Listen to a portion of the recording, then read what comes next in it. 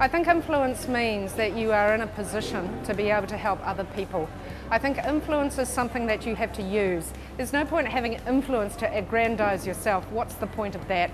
Look, we're all going to die. We don't have very long on this earth. If you manage to get influence, then help those people who will invariably come and ask for help. The key thing is that it's very difficult to help people. It's also very difficult to affect change in society. But if you've been given some recognition, more people are likely to listen to you. That therefore means it's more important what you say. Hard work, perseverance, the ability to back yourself, to listen to your own voice. Yes, you do have to listen when other people talk to you, but you have to have the ability to be able to be independent.